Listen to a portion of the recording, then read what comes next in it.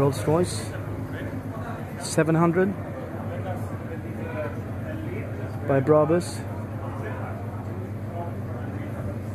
They do now Porsche 992 Turbo S and also Rolls Royce.